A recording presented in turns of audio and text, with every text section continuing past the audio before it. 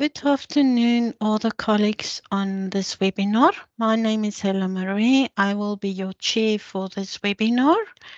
Um, the way we're going to work with this is Bronwyn is going to present and then you are welcome to post your chats and your comments and you will be able to raise your hand if you do have a question.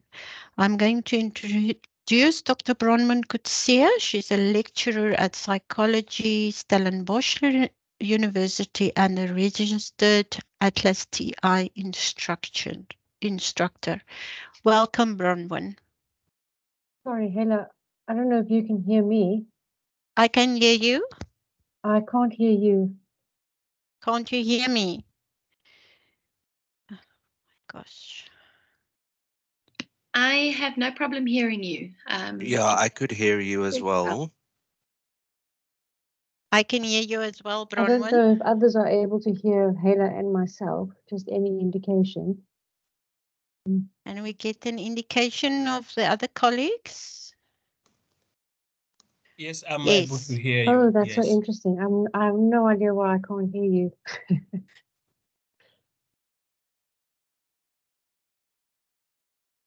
Okay, Bronwyn, you can share your slides and you can begin with Atlas TI.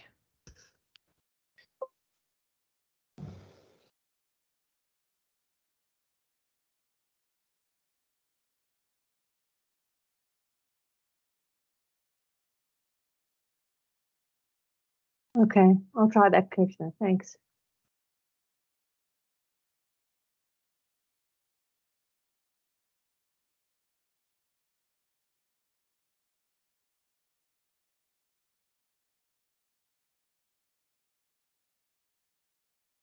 We'll just wait for Bronwyn to actually um, log in and log out and see if she can um, reconnect with us. Okay, is this better? That's better, yes. and can you hear us now? No idea. I I've changed now and I still can't hear you. I'm so sorry.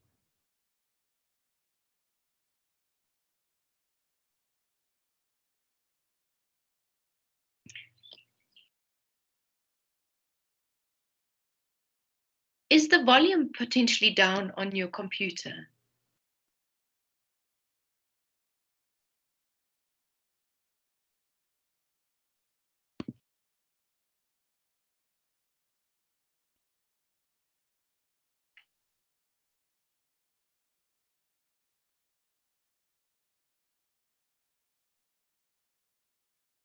Okay, let's try again. All right, can you hear us now? Hello, uh, can you hear me? Yes, can you hear us? We can hear you. Oh, yeah.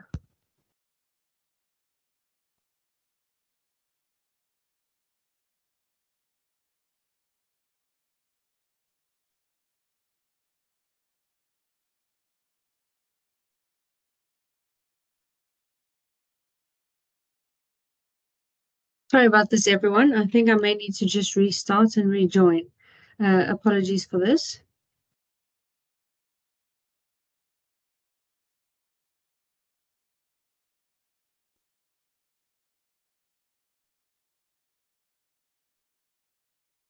Yes, sorry, everybody. Uh, the technology demons do seem to pop up when we least want them to.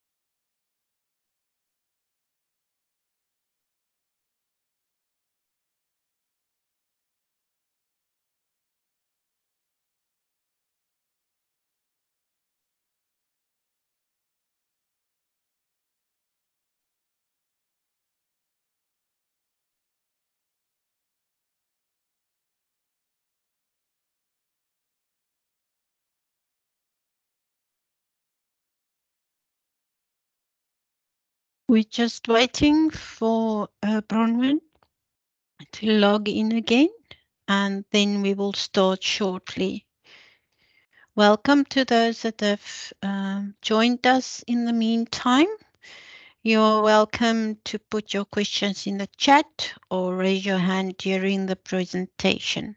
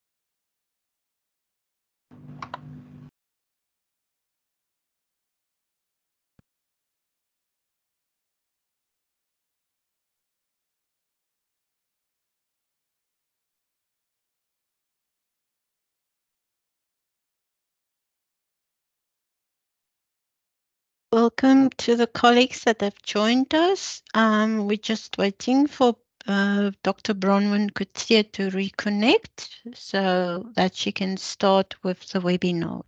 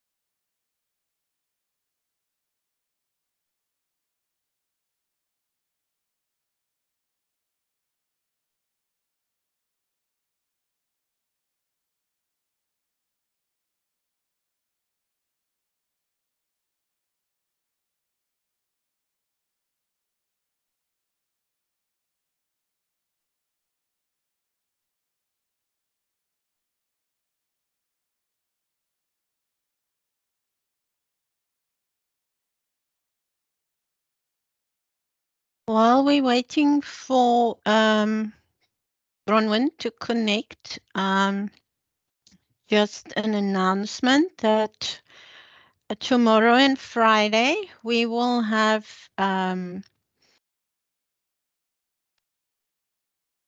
another more sessions for Library Research Week. Uh, Thursday, we will have Empowering Through Your Research Pathway and Friday, Energizing Your Inner Power. So please consult our uh, online program and um, join us for tomorrow's sessions.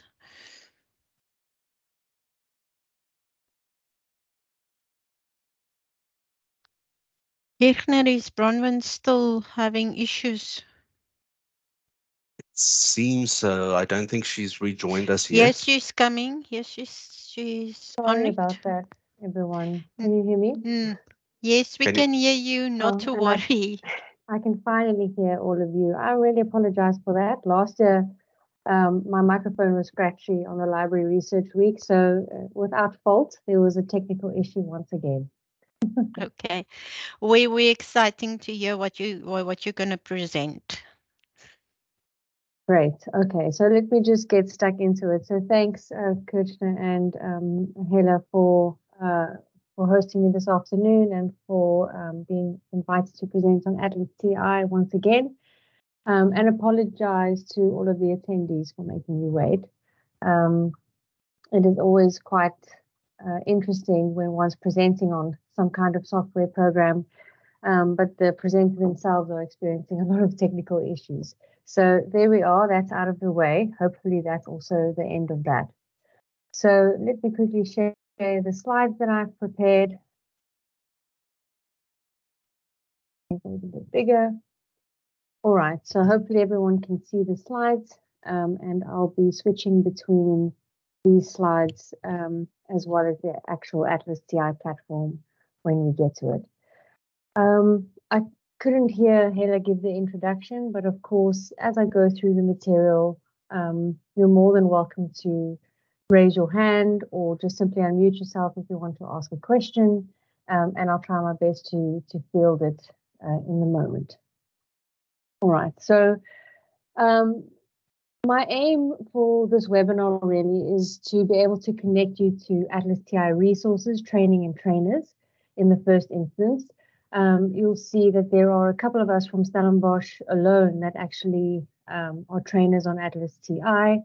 And many of us who have postgraduate students um, have also become really familiar with it and also provide um, support uh, and research assistance with, with Atlas TI.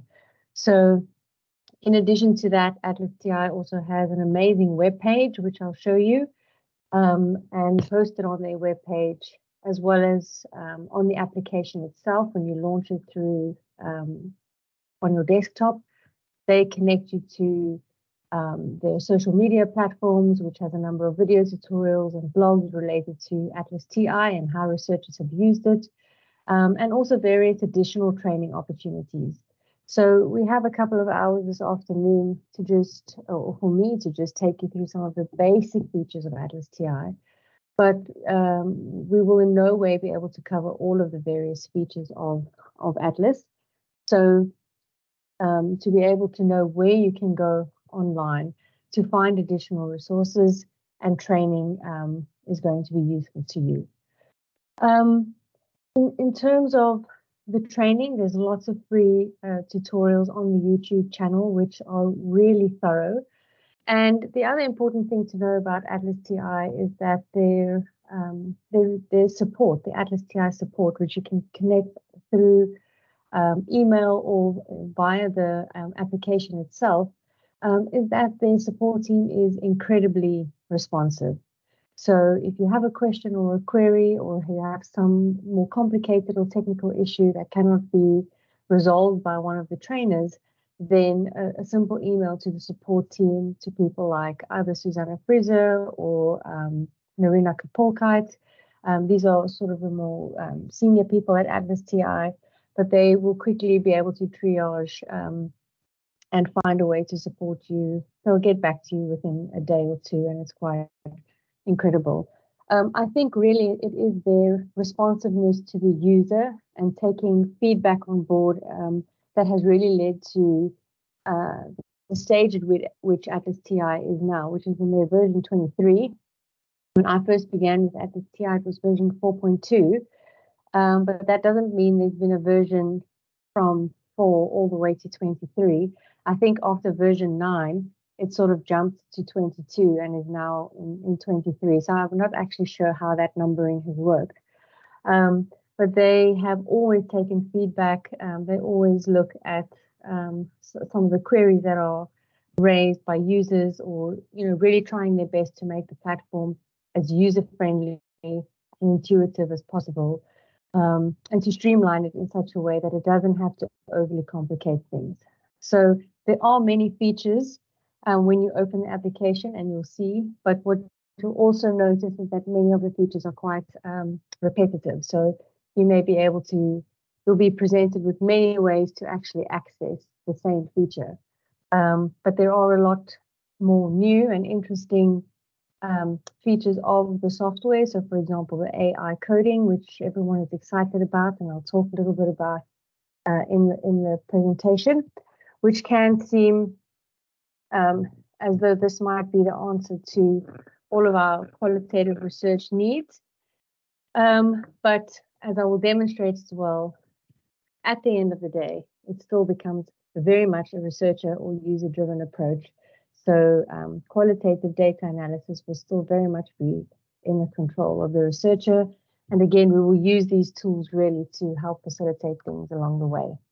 I'll also provide you, of course, with an overview of the interface and common features and demonstrate to you how Atlas TI can be used throughout the research process.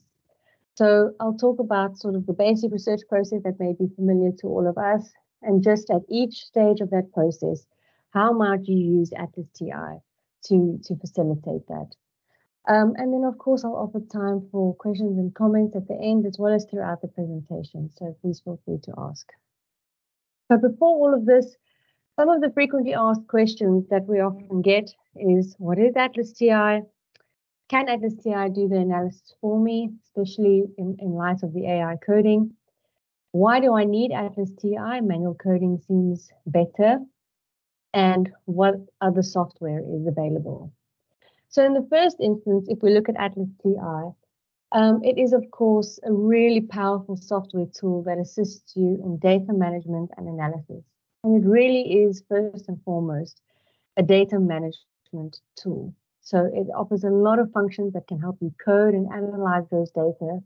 Um, but really, it's the way in which it can be managed. I think it's a, a particularly attractive feature for researchers and researchers working in very large teams because it allows you to have multiple people working on the same project. So through the cloud-based feature that you can use with Atlas, it also creates a level of transparency to your data. So you can upload all of your raw documents uh, into data, uh, uh, into Atlas. So by raw documents, I mean your transcripts, your original audios, perhaps even your literature, um, image files or other audio files that you may have, geographical data it supports as well. And all of this can be uploaded into Atlas TI. Perhaps even your propo original proposal that you wrote related to your study. Everything, everything can be brought into one project and stored in that way. The code, the analysis, everything. So in, in, an entire project can then be embodied within Atlas TI and can then be stored um, either on one of your own uh, cloud-based servers. So we know our ethics committee recommends Microsoft OneDrive. Um, but of course, Atlas TI also has the cloud-based feature. Some people are often skeptical about uploading a project into the cloud, but Atlas TI has a password protect feature, which means you can you can protect the um, the document or protect the file really um, then before you put it onto the cloud, and you can share the link and the password with uh, who, whoever is going to be collaborating on the project. So it is, of course, a computer-assisted data analysis software tool. And this term in particular um, was introduced uh, quite a number of years ago in 1991 already. So can Atlas TI do the analysis for me? And that's both a no and a yes. Um, for the purposes of um, perhaps initially just exploring the data, looking at perhaps common concepts that have emerged, um, so, so through auto coding, um, you, you may be able to, or, or, even through generating a word cloud, um, which I can show you, um, you'd be able to see some of the common terms used. Um, you could do what Atlas TI calls opinion mining or sentiment analysis, um, or using the AI coding, which can then through you know the large language models um, run, you know, have them run through your your your text and be able to offer some kind of uh, initial insights, which you as a researcher or an Atlas TI user will then have to go and, and scrutinize and see whether what is being produced makes sense. So there are a number of automated features related to Atlas TI, which can be useful to you. But um, you know, for the purposes of qualitative research and being able to look closely and in depth um, at your data, much of that will still be driven by you as the uh, as as the researcher. The coding, the links between the codes, how the codes may then um, become themes, um, and how the themes fit together into an overall narrative about your participants' insights into that um, particular research question. So there are um, you know, for, for the longest time, there's there's been, I guess, ever since um, computer-assisted qualitative data analysis software emerged, there has been sort of these um, this debate really about the extent to which um, the software tools are, are helpful or, or hindrances. Um, and I think we're starting to get to a point now where we certainly see that it's very much helpful, especially in the context of large studies with multiple sites having people work together. But there are people who still very much prefer to to stick to um, uh, analyzing data more manually. Um, and really, it's not actually to think about these as two mutually exclusive processes. I mean, for those of us who work with common uh, data analytic, um, qualitative data analytic um, uh, methods and strategies like reflexive thematic analysis, for example, that very first phase, which is all about familiarization with the data, can happen either in Atlas or it can happen with you printing out your transcripts, reading them, making notes and margins, um, and then transferring this to Atlas TI, which may be quite a bit of work. So you may want to start online at first. Um, but at, but but the, for the sake of preservation and transparency of the coding process, which may be something that examiners want to look at or reviewers want to look at in future, as it becomes more and more important to make your data available um, open access, then um, or to store it on open access repositories, then it may be helpful to use the software to be able to offer that kind of transparency to whoever may be wanting to look at it. So there are a number of pros and cons uh, to using it, but I think um, certainly as a as a um, as a trainer in the software, I'll, I will say there are a lot more pros. What other software is available? Um, quite a number actually. Uh, NVivo is quite popular and is used um, by um, students and staff at UCT in particular. Um, there's also uh, MaxQDA, um, there's also Transana, and a number of others shown on the screen. So there's many others. We mostly support Atlas TI here at Stellenbosch, and um, for students and staff, there is a campus license available. So if you log onto the Atlas TI website, you can create an account. Once you've created an account, you can also contact either your Marga Farga, or IT in general, really to help um, connect you to the campus license, and then you you know you'll find your um, your your license uh, on on your Atlas TI um, on uh, on the web where you can create your account. So that is supported here. And as I mentioned, there's a number of us um, who actually offer training here, which I'll talk to in a minute. So in terms of the resources, training and trainers, so how or where can I get it? So it is it will be through atlasti.com, as I mentioned. Um, and here you would be able to sign up into my Atlas TI, which is in the top right hand corner. And um, if you don't have an account yet, you'll be prompted to create an account. Um, and then you would be able to see your, your license listed there. Not initially at first, you'll just contact IT for support there, but eventually you'll find your license listed there. Um, then in terms of how I can get Atlas TI, so again, this is just sort of what the, the login procedure would look like when you have an account. Um, and then eventually you'll be able to visualize um, your license through Stellenbosch's IT. And we have a campus license, which is really, really nice, and it it's um, available forever, basically. And you will also automatically, with that, get all of the, the upgrades that, that come. And the most recent one has been Atlas TI 23. All right. So in terms of the learning and support, as I mentioned, so this is a this is a screenshot of the YouTube channel. They have a number of videos, playlists, the broader community in which you can not only look at videos related to Atlas TI, but also have a look at some really interesting videos on qualitative data analysis using Atlas TI that researchers have put up. And in addition to that, there is also the Atlas TI blog, um, which you can find through the main web page that um, is more of a descriptive um, play-by-play of how Atlas TI has been used in the research process to to analyze data through um, either if it's a, a, literature review or perhaps it was a narrative analysis or a grounded theory study um, or a phenomenological study more broadly. Um, it, you know, people have have blogged about how they use Atlas in, in those processes, which is really uh, really helpful to look at. Um, Atlas TI, as I mentioned, it can be quite an overwhelming um, program to engage with at first, and I'm not sure how many of you who are on the call have had an opportunity to engage with Atlas TI before. Um, some of you may be sitting here with quite a lot of Atlas TI expertise and just using this as a bit of a refresher. And some of you may have never opened the application before. Um, and so, you know, I would be able to, to present this afternoon Atlas TI from my perspective and, you know, and how I imagine it might be might be useful to you.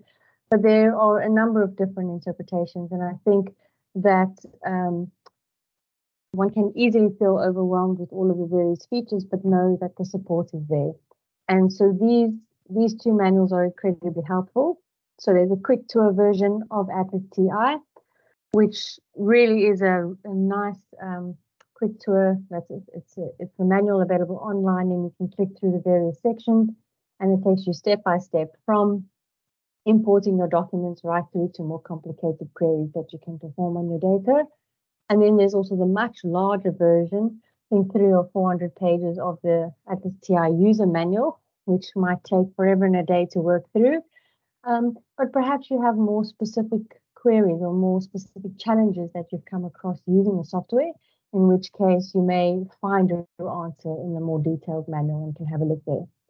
Then, uh, for those of you who are interested perhaps in becoming trainers, and there's very there's different levels of trainers as well, or perhaps just um, wanting to demonstrate what either what you've learned here today or what you've learned through um, time spent with Atlas TI yourself, and you may want to just get access to sample projects that you can use, and I will use some of them today as well.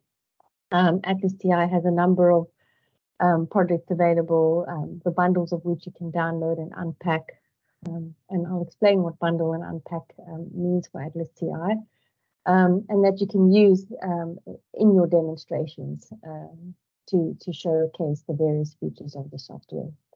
Um, and then for those of you who are interested in actually becoming trainers in Atlas TI, you can find this information uh, on their website, and it starts at a student level trainer, and you can go all the way up until a senior level trainer if this is something that you're interested in doing. So social media platforms it has as well. And then of course, um, a really excellent um, support center and support team who really are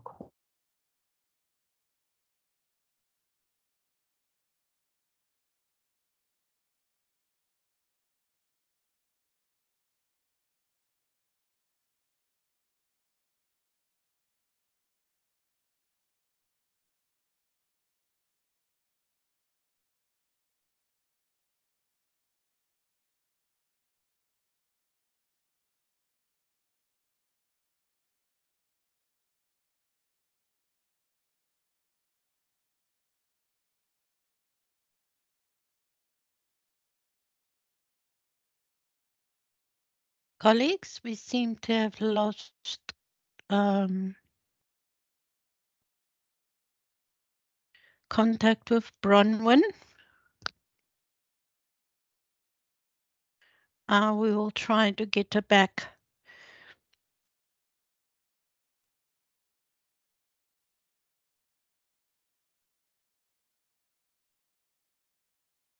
It looks like she's trying to reconnect. So we will just wait until she has reconnected.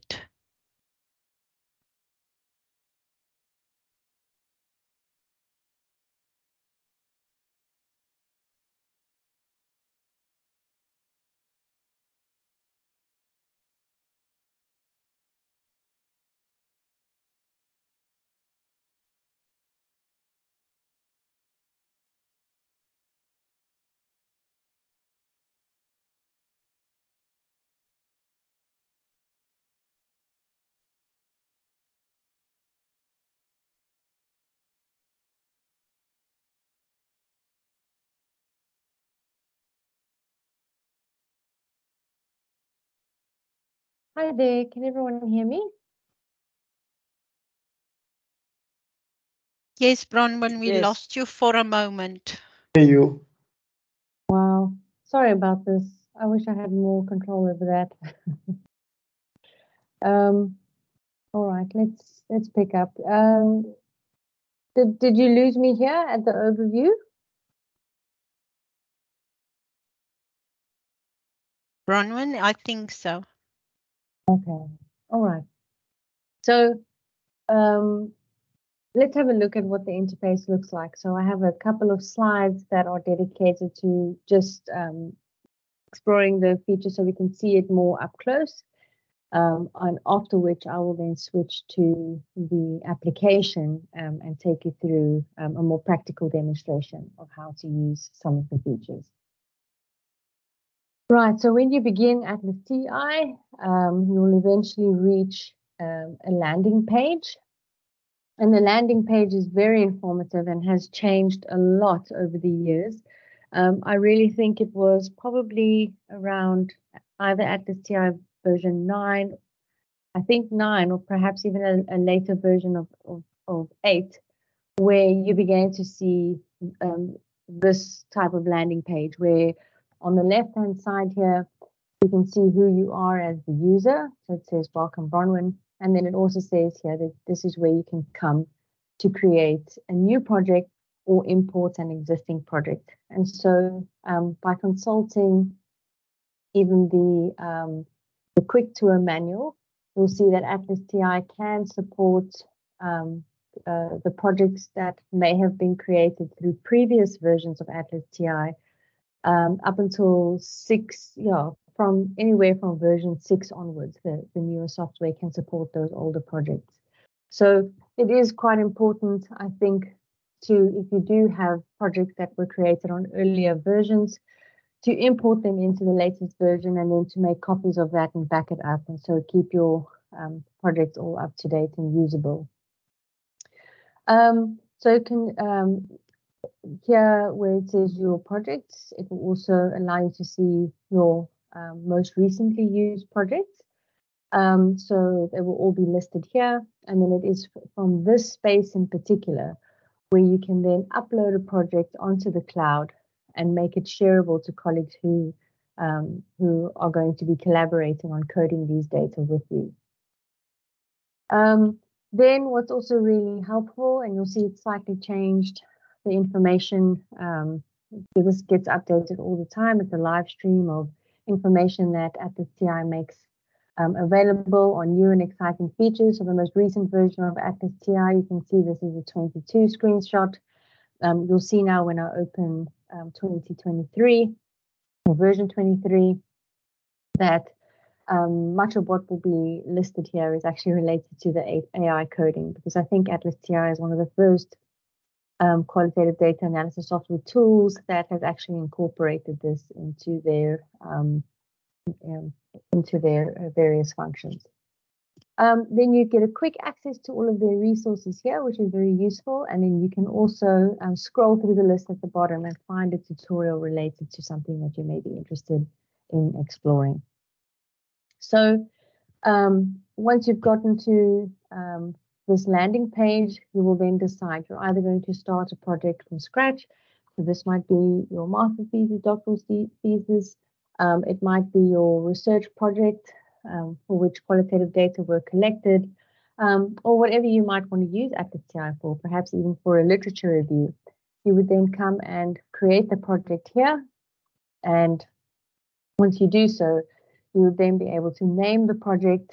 So give it a name and it's not compulsory to comment on the project, but I think if this is something that a project that you might be sharing with others who are collaborating with you, um, it might be nice also just for backing up purposes and for transparency later to just have a simple description of what this project is about and um, what one might find in it. Just um, that metadata, I think, is sometimes important to capture. Um, then as you click through um, um, the, the information tab, you'll be able to see a couple of um, application preferences that you might like. Um, so for example, you can choose um, the display language and the color theme and also um, the size of, of the font. Um, then you can also uh, click through the project preferences, which I'll do when I go into the application and just some information about your license, which is listed there. So this really is the main interface, and this is the, um, the interface that you will uh, be linking with quite often as you work through Atlas. Um, and so I will take you through each one of these um, tabs and, and, and speak uh, a little bit about the features. So you'll see at the top we have file home, search and code, analyze, import and export tools and help. So what the developers of Atlas TI have done is they have tried to model it on other application packages that we may be familiar with. So this is the Atlas TI Windows version, which I'm demonstrating today. There is, of course, a Mac version as well, which might look slightly different to this one, um, but nonetheless have the same features, but the actual interface may look a little bit different. Um, and then there's also the, the cloud version. But you can you work from the cloud within this application, so you will download and upload projects from here. Um, so it is modeled on applications that we are more familiar with. So, you know, if you open up a Word document, it's also got these tabs and ribbons. And so you're able to see, have that familiarity. And they wanted to do that just to, to make things more, more user friendly. So um, if we have a look more closely at each of the tabs that I have just mentioned, in the File tab, this is especially where you will come if you want to save the project. Um, the snapshot here means that it just creates um, a smaller saved version of, of the project. Um, but really to be able to back this up, you, you would um, then do an ex export of the project bundle, which it's called, which is the entire project so it's all of the um, information, all of the documents that you've uploaded into Atlas TI, plus all of the entities that you've created in Atlas TI, your codes, your networks, your memos, all of that will get bundled together and becomes this file that you can copy and store somewhere. So um, this is also where you would come to be able to um, set the password uh, on on your project, and this gives people a lot of um, um, secure, uh, makes people feel a little bit more secure in being able to share the project um, amongst uh, different users. Um, and it's also important for um, whether you share it through the cloud or whether you share the copy bundle through email, um, that you know you can use this password protect feature. And I think yeah, it would it would ethically, of course, be quite important. You can also come here to merge two projects. So now that we are able to work more collaboratively online through the cloud-based feature of Atlas TI, um, it, you know, it's becoming uh, less and less necessary really to merge two versions. So in the in the past, before the cloud-based version, you would ideally have someone who had a master copy of the particular project that had all of the documents listed in it. And then that project would then be sent to your coders. Um, and then you would say you, you code documents 1 to 20 and you code documents 21 to 40. And then they would save those projects under different names. And then the person in charge of the project would then merge the two in order to be able to capture all of the codes across all of the documents. Um, but with the with the cloud-based feature, it means people can work more collaboratively. But where you might want to use that is still if you're interested in generating something like um, a kappa coefficient for inter-rater reliability. So depending on which journals you're publishing, um, and if there were multiple coders on a project, they may be interested in knowing what uh, the level of agreement was between the codes created amongst the different coders. And in that case, you know, Atlas TI can support you working in a way so as to determine that intercoder agreement. It's not something that I will have time to go into too finely here, but nonetheless, um, alerting you to that and we'll show you where you can find that uh, on the application a little later on.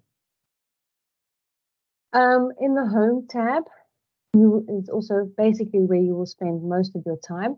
Um, here's where you will add your documents, um, and I'll show you that you can add either single files or you can add a whole file. Um, and uh, you can also, um, you know, add your uh, audios or existing transcripts or whatever it may be through the Add Documents um, tab. This is also not the only place where you can add documents. So as I mentioned before, um, with Atlas, there are a number of uh, ways in which to do the same thing. So it's got quite redundant features in that way. Um, I'll talk um, more about each of these um, when I actually go into the application because then I can show you what it looks like when you click on those.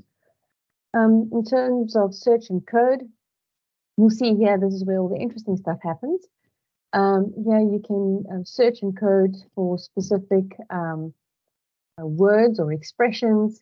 You can test out sentiment analysis if it's something you're interested in exploring um, concepts or opinion mining, looking at word frequencies, which might be nice, especially for a content analysis. And then try your hand at AI coding. And I, will certainly demonstrate that um, just to show um, the, the difference between a researcher coded um, project um, versus the AI coded project and see how that compares. Um, you have a number of analytic tools, and this really is based on the way in which you code your data. So coding is a central feature and really the building blocks of everything else that you will do in Atlas TI. And your strategy and your method for coding in Atlas TI is very important um, if you want to be able to use some of these analytic tools. So the way in which you name codes or group codes, um, organize them, um, becomes important when you want to be able to check um, co-occurrence or, or create a cross-tabulation. Um, and we'll have a look at what that will look like. Then you can also import and export Atlas TI files, um, either import from various social, um, you know, um, there's social network comments, and then there's also Twitter. You can import your um, your BibTeX file or, or related from your reference manager. So it's quite nice, especially if you have your PDF documents related to the references that you have and say, for example, Mendeley, then if you create an, um, an export in Mendeley to a BibTeX file, you can then upload that into Atlas TI. And it uses the metadata as well to create different groupings. Um, and I can show you what that what that will look like. Um, you can then also export to either SPSS or into a code book. Um, uh, using Atlas, which which can be useful. Um, then uh, a number of interesting tools. So it can it can mine your code list for any redundant coding. So it can help you streamline and refine your code list.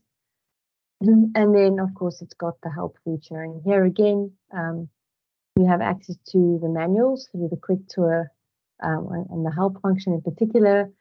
You can connect with a live chat so as you're busy, if someone's online, um, and usually there is, you can actually engage in live chat for problem solving support and then go onto YouTube as well to watch some of their amazing videos. And they have um, they have almost weekly, if not daily, repeat seminars in which they go through the introduction and the various features. So there's really a wealth of online support. All right. Uh, So- Bronwyn, sorry to stop you. There's a few questions here. Um, is there a free version of Atlas or do you need a subscription? And with that, um, how do you become a trainer? Is there a cost to training for a person who wants to be an expert? Okay. Um, in terms of a free version, there's a free trial version available. So you can have full access to Atlas TI for a set period of time and you can access the trial version online. Um, but as mentioned, if you're a staff or student of Stellenbosch, you can have access to the full version through the campus license that um, Stellenbosch has with Atlas TI. Um, it took years to get that campus license, so please use it. um, then in terms of wanting to become a trainer, again, that information um, is on the website. And as far as I know, and from my own experience, there's no cost involved in that for individuals who are interested. I don't know if there are any other questions. Any other another question by Mr. Knutzer? Would the project contain all data for one particular study or should components of a re research study be broken into different projects? I guess that will ultimately um, be the decision of the researcher, but in my experience, it's it's far better to contain everything related to one project in one Atlas TI fol uh, folder. So um, let's say, for example, you've collected um, data in multiple ways. So you may have um, uh, your interview transcripts, or you may have images, or you may have observations, or you may, you know, have uh, whatever else you've been using. Um, all of that data will come into one Atlas TI project. So all of all of that information will be imported at the same time, rather than having a different project for the interviews and a different project for the images and a different project. So that wouldn't make sense um, in, in, that sense if, if, if, you were meaning it in that way. Um, because ultimately through your coding, you'd want to see what the commonalities are across the different data sources. So you would want to keep everything in one project. Um, and that's uh, and, and everything relates to the project that may be usable um, with Atlas TI features, with qualitative data analysis features, it's recommended to keep that in, in one project and keep everything together.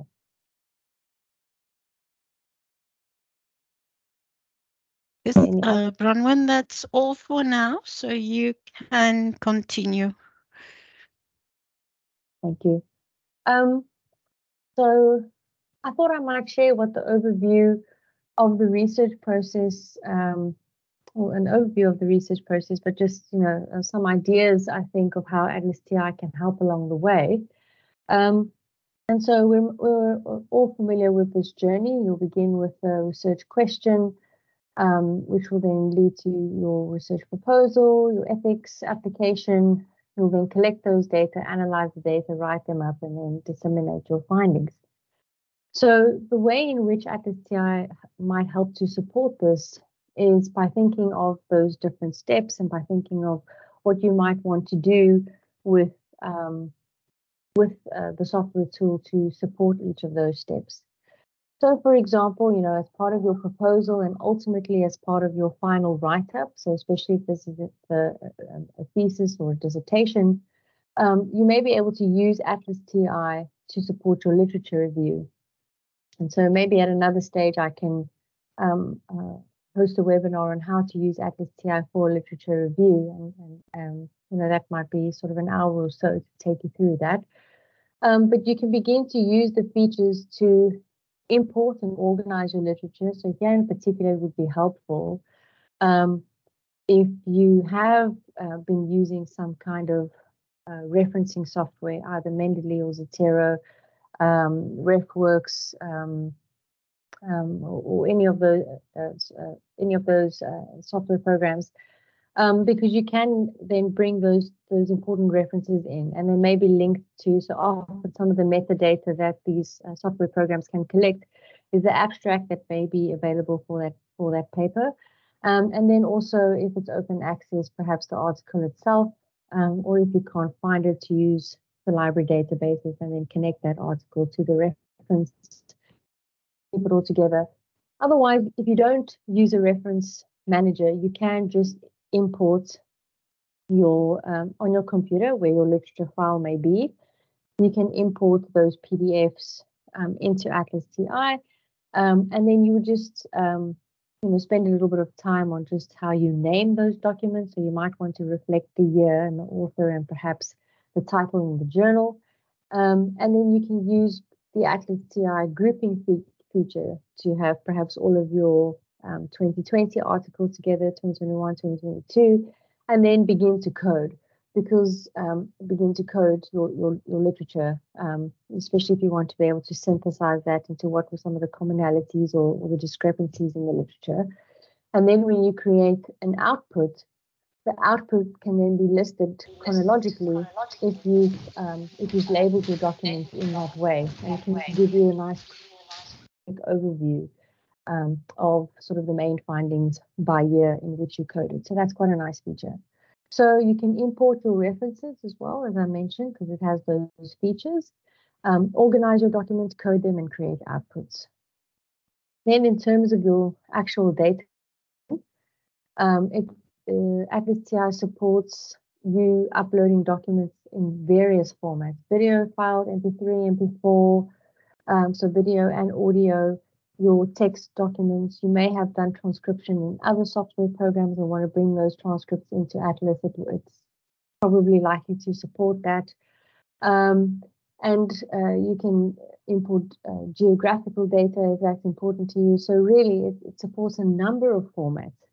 And um, you can bring all of those documents together. And then you can even organize those um, documents into different groupings. So you can see which were my interviews, which were my focus groups. Um, if you have a uh, have an open-ended survey that you want to import, you can also do that. Um, then in terms of data collection, so often when uh, once we've completed interviews or focus groups, we then also want to be able to transcribe our data. And so Atlas TI is not in a position yet where it does automatic transcription. I'm sure that will come soon. Um, there are other ways in which that can be done, perhaps not as accurately as we would want, which maybe, you know, if you're doing online interviews, to use Microsoft Teams like we're using this afternoon. Although the quality of the Teams transcriptions is debatable.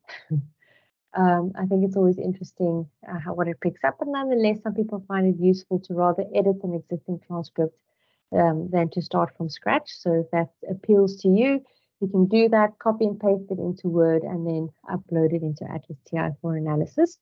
Um, but otherwise, um, I will show you how you can use Atlas TI to upload an audio file and, and a Word file, and then to, to link these two for transcription. So you can do transcription manually within Atlas. Um, you can then also add your field notes using a memo function or a comment function. So um, I'll talk a bit about the memo as well. Um, and then when you think about your data analysis and your write-up as the last step there, um, and these are just a, a, couple of things that came to mind. There are obviously many other ways in which uh, data analysis can be supported through Atlas, but these are some of the more typical ones. So you can organize your data into document groups. So you will have documents, you will have quotations, you will have codes, and you can have memos. And so your documents are the actual um, transcripts or audio files or video files uh, or image files that you in, uh, import into Atlas. And you can organize these various documents into different groups. So say, for example, you've got interviews um, with older versus younger people or with children, adolescents, and those in early adulthood. And you may want to just create categories or, or, or groupings of all of um, the individuals who meet um, the criteria for being um, an, uh, an, adolescent or an early adult, or you might want to have groupings of your interview transcripts by age. Um, so you may want to spend some time just to think about how might I want to group my documents. Um, because again, if you're thinking about the final output, so after you've completed all of the coding, you may want to ask Atlas TI to make very specific outputs for you. So you may be interested in, for example, for example, if you've done a lot of coding around barriers to adherence to medication taking, you may be interested in understanding what adolescents, so 12, 13, 14 year olds, had to say about some of the barriers that they experience specifically. And if you've created those groupings and the codes for that, you can then create a very specific output rather than having to go through all of those codes again. So Atlas TI can support that. So that's really why it's a fantastic um, data management uh, tool in allowing you to ask more specific questions and to get more specific outputs, which ultimately then is related to how you've how you've coded your data. So it is worthwhile spending a little bit of time on thinking through some of those initial phases around um, that familiarization phase around how I might want to organize the groupings of, of my documents and then my codes as well. So then also part um, of the analysis and which really is uh, an almost universal feature across many data analysis um, strategies in qualitative research is to read, listen, make notes, um, highlight, um, and I say uh, uh, highlighting here through the quotation feature um, because you can, what's nice about Atlas TI, and I'm not sure if NVivo supports this as well, but it allows you to create free quotations. So you may be working through a particular document and you just want to be able to highlight bits of text that are interesting, but you may not yet know what you want to code it. But Atlas TI can nonetheless capture those free quotations for you and you can add a code to them at a later stage once you are a bit more familiar with your documents. And then you can code your data either inductively, so be data driven um, by what participants themselves have said, or you can work deductively where you may be wanting to code or fit the data to a particular theory or framework. Um, and so you as a researcher will decide what is most useful to you in terms of your approach uh, to the analysis. Once you've then created your code list um, or you've completed a round of coding on all of your transcripts, so say for example you had 10 interviews, you've done one round of coding across all 10 interviews and you are sitting now with over 500 or 600 codes. That sounds like a lot, but I have seen projects where after two interviews, um, there are about 400 codes. So we often talk about a fine coder versus a monster coder. And so your fine coder is someone who might find um, every line interesting. So that might be someone who's then naturally themselves a grounded theorist. Um, or you may be a monster coder where you have more general uh, labels applied uh, to the data and have far fewer codes. Um, and so it's actually helpful to be a little bit, have a little bit of a, a balance between the two, um, especially um, within Atlas. So ultimately, you would then come to review your list, and Atlas TI has features for where you can merge codes together. So you will review, um, as is part of many qualitative data analysis steps. Um, you have to review your list and you have to refine it before you reach that, that final code list. And so Atlas TI can allow you to merge and split, create groups. It's got a wonderful feature known as the network function, which allows you to visualize your codes in the network space, where you can begin to draw um, arbitrary links between your codes. So you can create relationships between them, not, not uh, relationships in, in the quantitative sense, but rather just as a way to sort of map thematically and theoretically how you think the codes or the pieces of information that you've identified link together. And you can do this within the network space and you can have with it a memo and you can begin to document some of your thoughts um, related to how your codes fit together, which can ultimately form the basis of the results section of whatever it is you're working on, your paper, your thesis, your dissertation. So um, we'll talk a little bit more about those. So I thought I would also just recap um, sort of, uh, I should make this more specific reflexive thematic analysis, especially given the memo function um, in Atlas TI. But um, for those of you who, aren't familiar with thematic analysis, it is a popular data analysis um, strategy that's used. Um, yeah, it's probably one of the most common um, and you have the authors um, Braun and Clarke, so Virginia Braun and Victoria Clarke, who write about uh, thematic analysis, which is an umbrella term um, and has as part of thematic analysis both reflexive thematic analysis and also then framework analysis as, as, as, part of this umbrella. But just uh, to not go into too many details there, I just thought that I would show how um, you may apply that. So um, in the first instance, so this this uh, sketcher is quite busy, so I'll rather just go into phase one, which is your um, so thematic analysis has six steps or six phases that they talk about. And the first then is that familiarization with the data and organizing the data for the analysis. And so in Atlas TI, you can organize and prepare the content by using document groups, by using coding groups, by um, naming your documents in a certain way to support the analysis. Um, think about how you transcribe.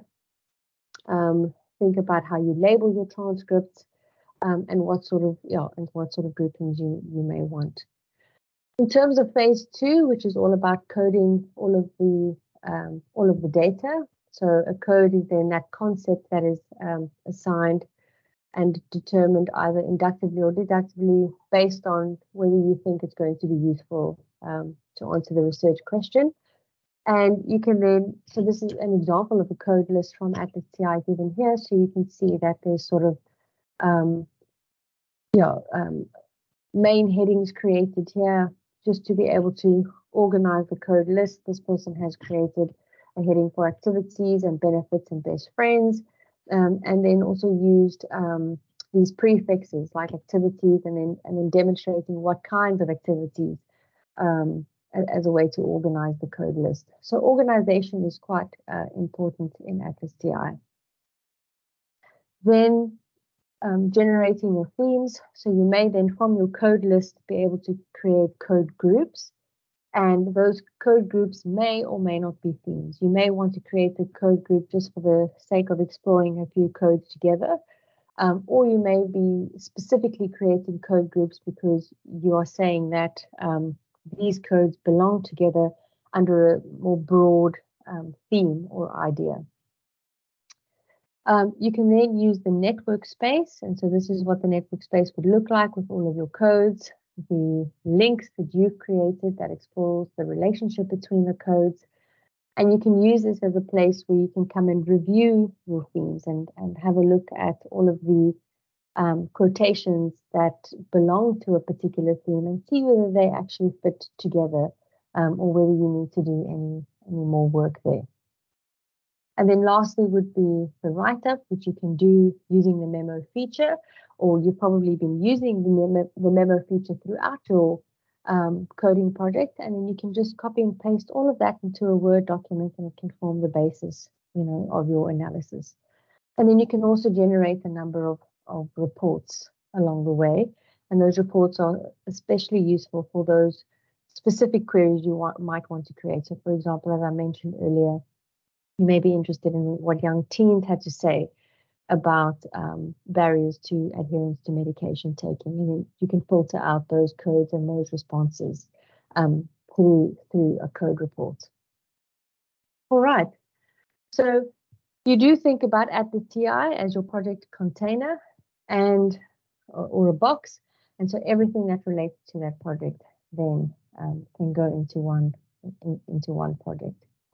So yeah, let's explore. So I'm just going to exit here and then go uh, into the application.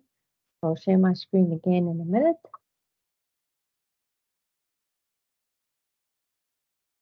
All right, you should be able to see my desktop. So I'll launch the application.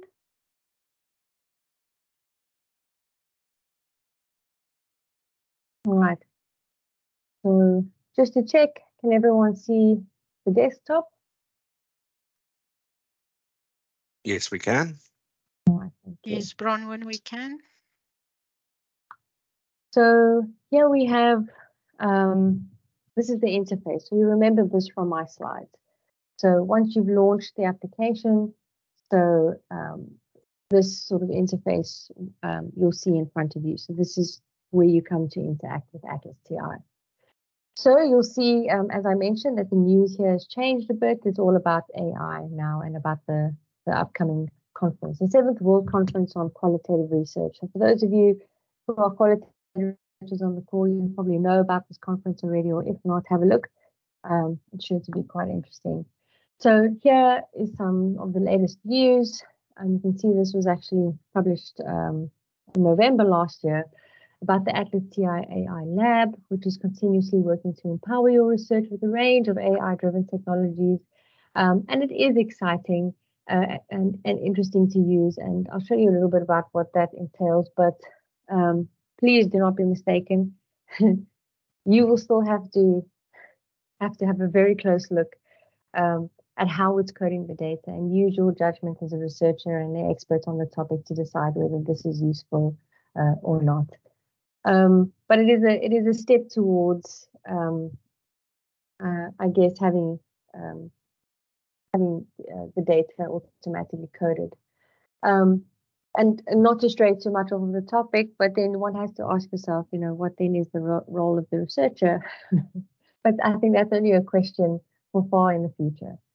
So um, once you've reached this landing page, um, you then have your two options, and I'll quickly show what, what that would entail. So the first is then to create a new project. So I may just call this um, Library Research Week 2023. I see the question there about how do I upgrade from 22 to 23. So if you've got version 22, if you launch the application, it should take you to version 23. And if it doesn't do that, you can then just go onto atlasti.com to where you find your license online um, and you can upgrade there. And if that if that still doesn't work, then you can just connect um, with IT at Stellenbosch um, to, to help you with the upgrade. Um, and then you might want to comment that the demo Atlas TI version 23. All right, and then you will click create.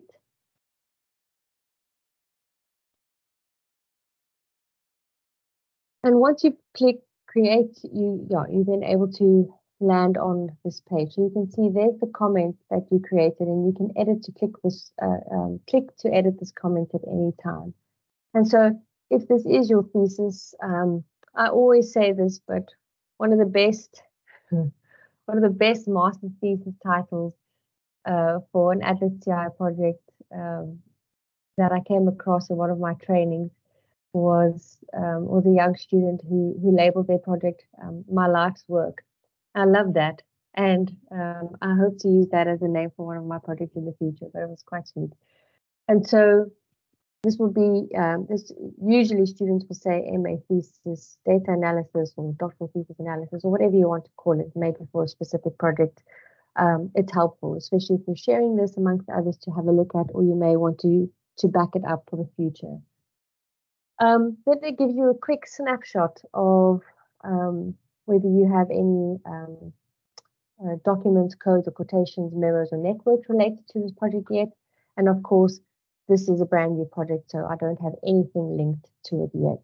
All right, and it gives you some other metadata about whether it was mod modified, who the user is, the version, um, and who created it. All right. So then on the left-hand side here, and remember everything in Atlas TI is adjustable. You can adjust the margins to, um, to you know, to whatever suits you. Um, and you can just about comment on, on, anything in Atlas TI as well. You can create a comment about a comment, I'm sure you can. So these are the tabs that I then um, went through in the screenshots. And the first one then is file. So here you would be able to set a password for your project. Um, if you want to. And like most features, you have to, I'm just going to delete this here because I'm not going to create a password. And then you can set that before you actually share it with, with other users. In terms of new, um, you can hear if, if I um, complete this and I create a new project, then a new Atlas TI window will open up, a new interface, and there you would put something else. So I wouldn't create a new project um, if everything is, uh, you know, if all of the documents are, are, related to one thing. I would create new projects for different research projects that I have. Um, you can also import there, and I'll show you what that looks like in the next step.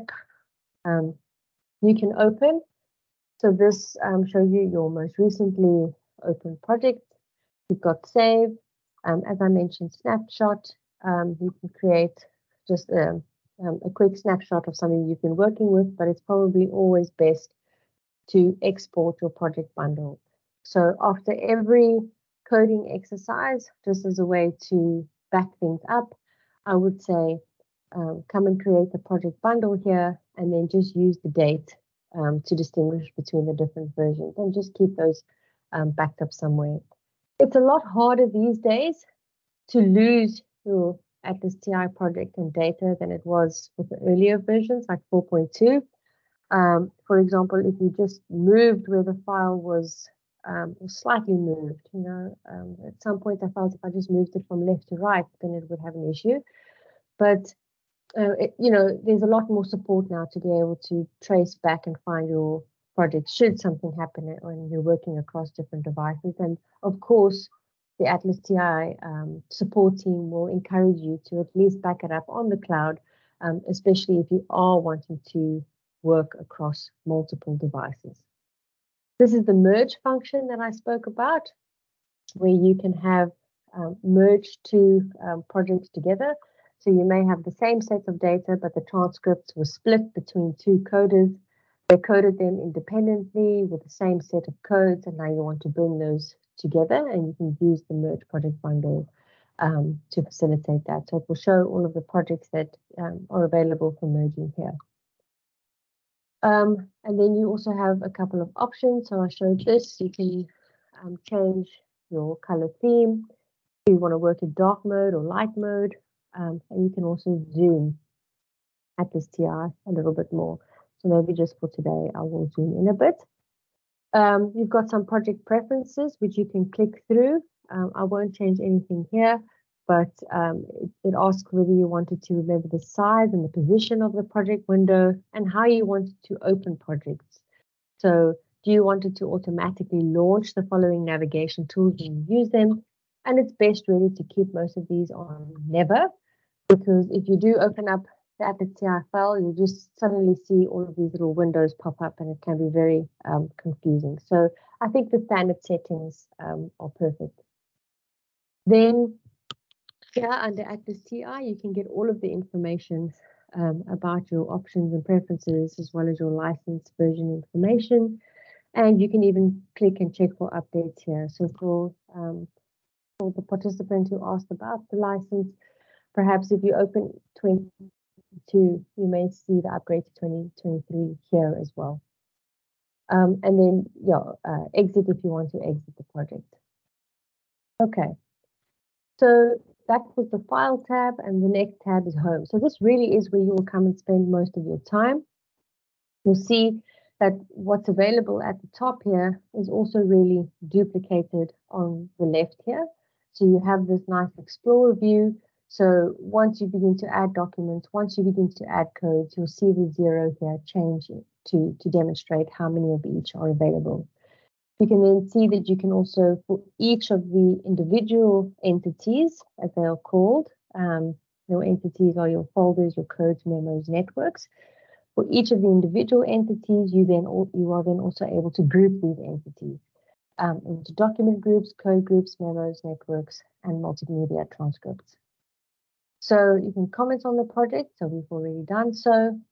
The navigator, again, You've got the same features as listed here. So this is what I meant when I said it looks like a lot, and that's because actually much of it is quite redundant. I guess they try to also cater to different ways in which people might explore or navigate things. So, for example, I like to right click on ev everything, and I always say, if in doubt, right click um, because you, are able to access many of the features through right clicking as well. And I'll, I'll, demonstrate that when I when I show some coding.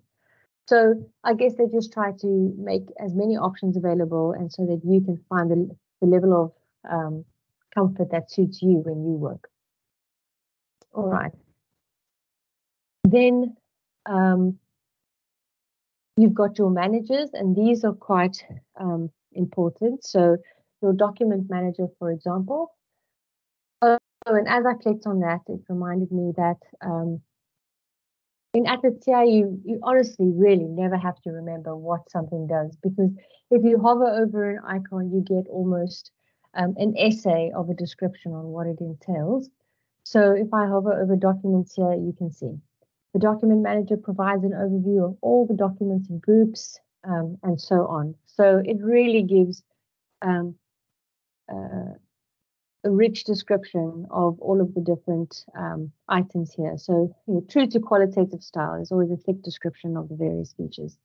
So um, the next is your, so if you click on the, the document manager, this is where you will see um, where you can come and add your documents, uh, your files, folders, um, and your files may be audio files and your files may be video files. And so sometimes those files can be very large. So instead of then bringing that full file into Atlas TI, it also gives you the option then to link a video and audio. And so perhaps the first one that I can sort of demonstrate here is to add a video or, an, or sorry, an audio. Um, so let me just navigate my materials, my audio for transcription. This is one of my, an Afrikaans recording made by the translations office for one of my lectures, so I will not be playing it. Um, and I might then want to import um, the transcript. So I can go back, I can go to document manager as well. There you'll see that it showed I can I have imported the audio for transcription.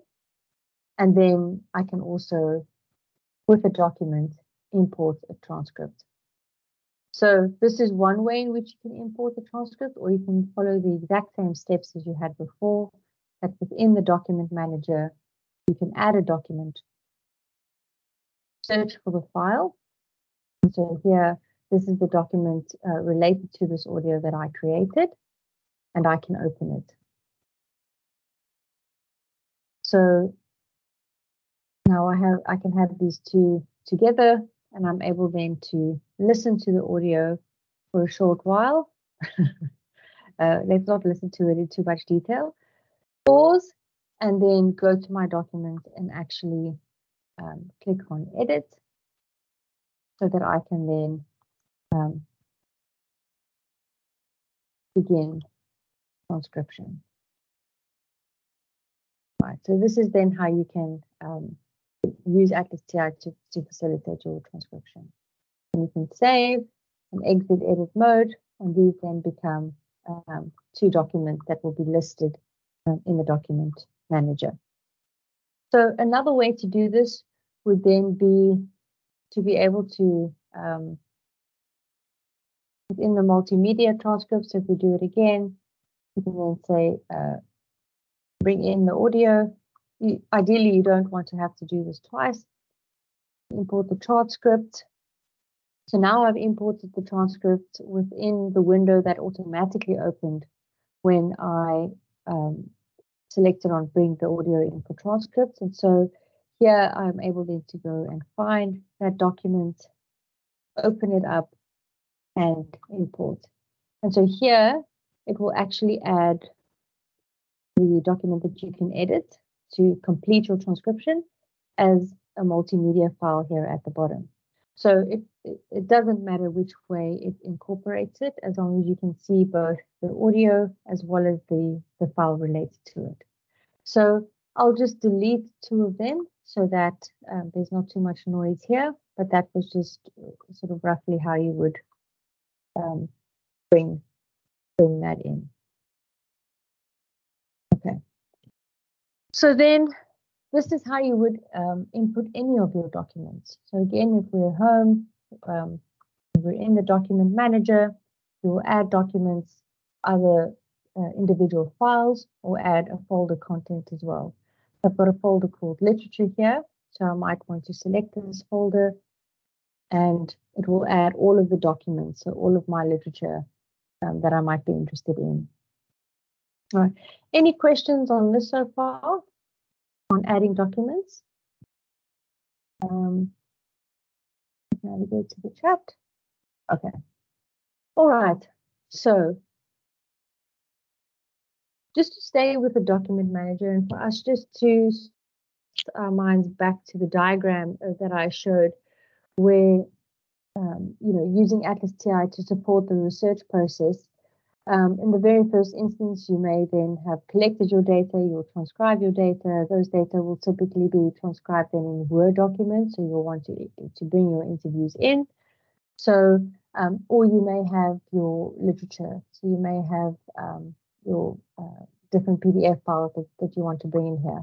But you can see that it starts to look a little bit messy and you want to organize it um, just to be able to show the, the various groupings of documents. So I can also add um, what might be my interviews.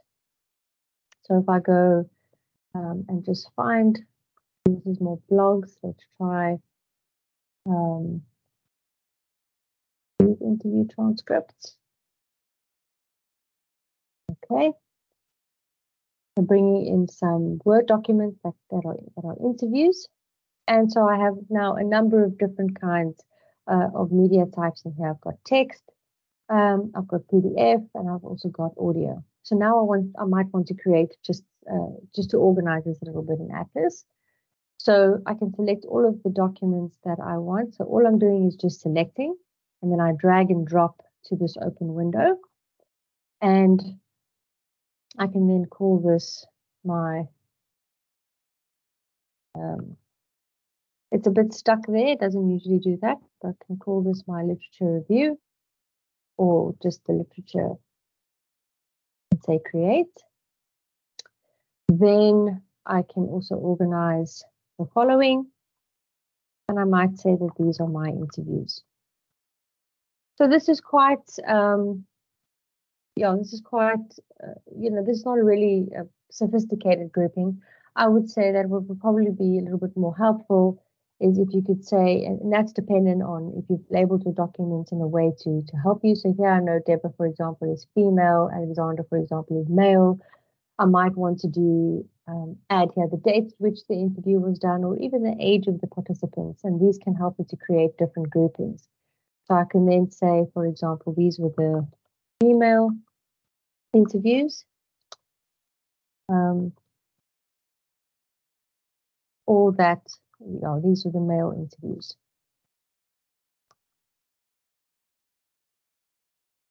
And so I can begin to organize uh, my data into groups. And why this is important is because ultimately, when you have coded all of your data, you may be interested in um, being able to set a filter on that particular group, which means that when you create a report um, of your codes, you can then make it specific to that particular group. So it can filter out all of the other um, all, of the other codes. Um, so Megan says, can a document be placed into more than one group? Yes, it can. So you can have, for example, so if I remove that and I don't show the filtering, I can, for example, um, drop you know, the, um, so here you would see the interviews and male interviews are together. Um, you can then have female interviews in the literature, uh, or in the male interview. So, you know, however it might be useful to you. So, yes, you can have more uh, a document placed into more than one group. Okay, so that's more or less how you would go about uploading your documents. So you can then do it through your document manager as I've shown here. I can just close the manager again, or I can simply do it here just through add documents. And so there's multiple ways in which you can add documents to, to Atlas tab, but those are the two most common. Through the document manager or even through here, you can have a look. Um, and then through the add documents feature on the home tab. Okay. So um, the next uh, manager is called your quotation manager. And as I mentioned, Atlas TI allows two entities when you code. So it allows you to create a free quotation, which would mean the following. So if I opened one of the documents, let's say we have a look at Deborah's interview. If I'm interested in um, coding, um, all right, so this is that you're ready to start so that we can you know, say that's sort of your consent stuff. Um, then I might be interested in, for example, let's just say coding this. And I'm reading through the quotes. It says I thought it was quite cold, but it's like, okay, so what what is it that you're studying at uni? And she says applied psychology. All right, so I might want this whole piece. Um, but I'm not sure what it is that I want to code this yet. All right, so I'm allowed then to create a free quotation, which means I don't have to immediately assign a code to it, which is nice. So this is a nice feature because it's going to allow me to mark this quotation and then um, I can then go into the quotation manager and then assign codes there if I want to. So here I can create a free quotation either simply by clicking right here, um, or as I mentioned earlier, um, for me, if in doubt, right click. So you can do almost anything by right clicking and then create free quotation. And you can see that it's simply just marked the instance um, where you have found a piece of information that's interesting to you. So if you go back to the Home tab, and you go to your quotation manager, you'll see those two codes listed there, but there, there aren't any uh, codes assigned to it yet. So um, you may then want to think about um, creating some codes in which you can then create a code right here. So you then read through what each of these um, labels are, we can read uh, through the preview at the bottom here, and you can then decide what you might want to code it. So I'm not going to try and come up with any creative code names right now. So I'll simply just say code A and create, and then I can just link this to code A. And then I can read the next bit. Okay, so you're doing just psychology. Then I might call this something else, code B. Of course, you need to come up with interesting code names that's relevant to your research. And you click create, and then I can simply just connect it there. And so you'll see here, if I just navigate to the left-hand side to the Explore, I can see that I've created two codes now. You'll see in the curly brackets that you've got two values there, a one and a zero. So the first one is your is your um, uh, your groundedness, which is your frequency, how many times the code has been used. And then the second one is the density, which is the number of times that code has been linked to another code. So right now, for the sake of this presentation, we'll just be interested in frequency. So I know that I've only used, or I know that for this particular code, code A, I've only got one quotation attached to it. And for code B, I've also only got one quotation attached to it. All right. So that's, um, you would then, now that you've created two codes, it means that if you navigate back to the home tab, you'll see that um, from your quotation manager, I'm just going to close Deborah there. From your quotation manager, you can see your codes, but from your code manager, you can see code A and code B, your groundedness and your density, and whether you've created any code groups yet.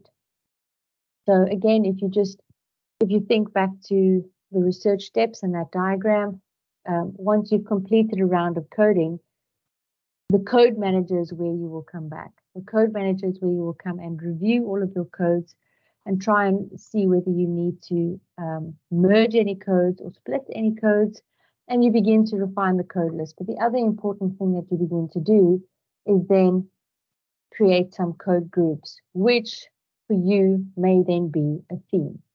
So creating a code group doesn't mean it has to be a theme. You, you know, can you can create code groups for the sake of uh, creating code groups, but um, most people, when they are selecting various codes that they want to bring together into a code group, they often do so because they wanted to reflect a particular theme.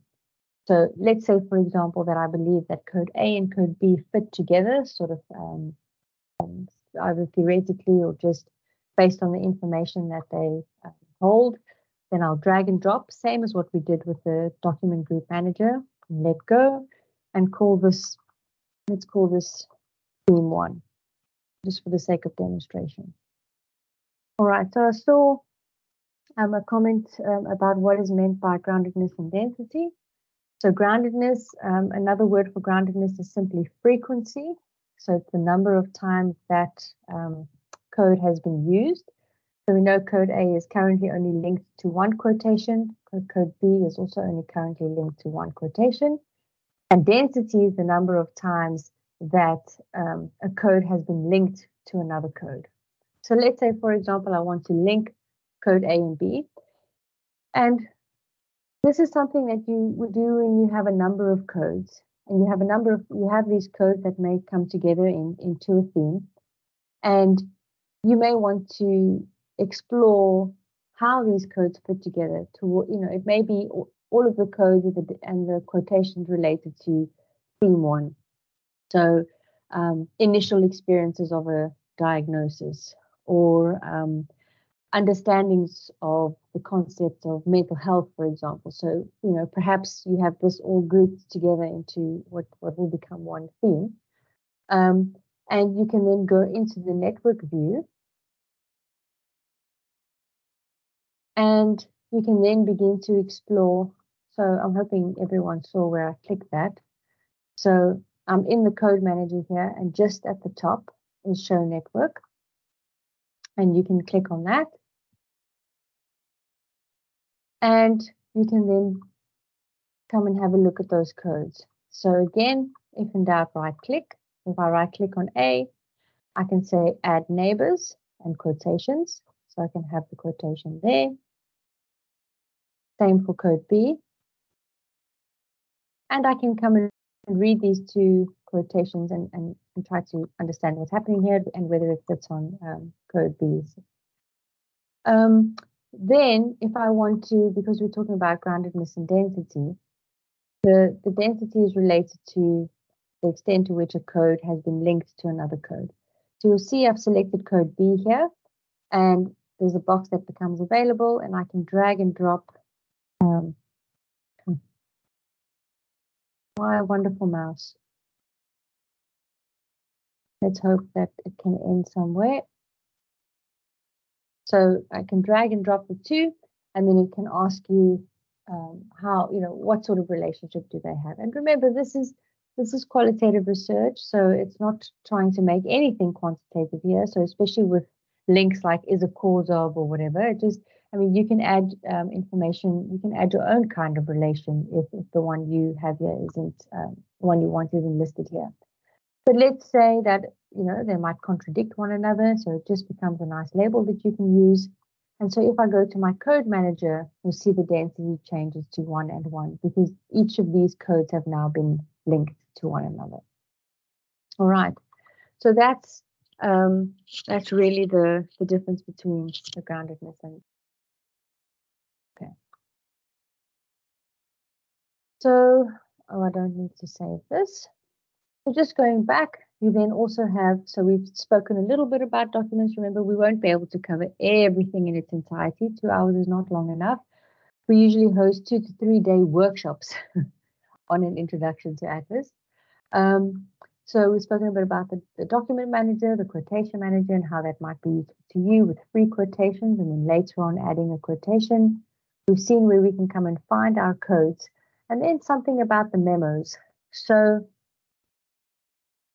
originally when Atlas TI was developed, it was actually modeled based on some key principles of grounded theory. So open coding, axial coding, selective coding, um, and then, as Charmaz and colleagues have often written about the importance of memoing and about writing and thinking and about having a, a space in which you can write about the coding that you um, are doing and about um, the, the insight that you gain from, from your data. And so the developers of Atlas TI wanted to bring this memoing function into Atlas TI so that you don't have to leave the software to use a Word document or a notepad to capture your thoughts um, and sentiments, that you can rather just come and create a memo where you can um, capture all of your thoughts. So you can create a free memo and you can, you can uh, call it a research diary or an analytic memo, or, or perhaps the memo is named based on the particular theme that you're exploring. And you cre can create it.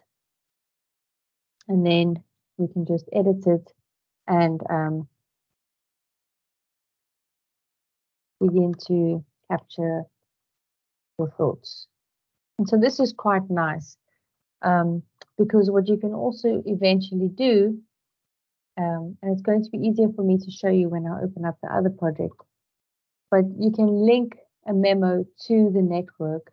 And so when you when you're when you're displaying a network, which is a collection of codes, and you might want to figure out how those codes fit together, you can then have your memo right there and capture your thoughts as you're making the links between them. Um, but when I when I open up an existing project, um, I, I, can speak more about that. Okay. So I'm just closing here again. I'm going to save my memo. Um, the last, um, second last here is really about the networks. So we've We've uh, touched on the network a little bit, but you can create the network. Uh, we can keep it new network. And uh, when it opens up, it'll say there's no entities in here, but I can always drag and drop the codes just from my list here that I think might be important, and I can come and create a network here. Um, okay. So Lastly, then you've just got your links. And so far, I've actually only created one link, which was between code A and code B, and I've called this relationship contradicts. And really, when you're engaging in your project and you've created various codes and you bring those codes together into code groups and you want to explore those code groups in the network, You can draw these arrows and links between them to facilitate your writing and thinking about that theme. So as you see the codes in the space, think about how they relate to one another and use the links and arrows to create this thematic map from which you can then either write your memo or immediately put that into the results section um, of, of the piece that you're working on.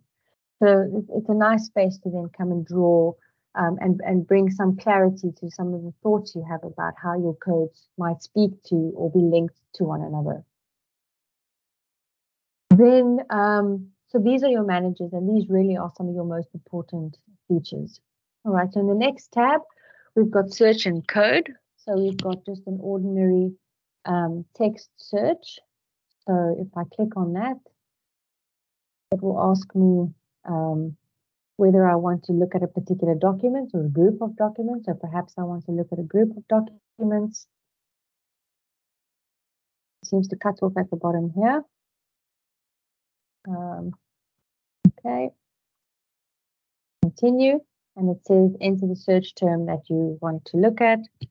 Um, uh, this would mean some familiarity with um, with your documents. I don't know. I think there was. Let's just look for interviewer and add that. Um, and you can add a number of other search terms as well.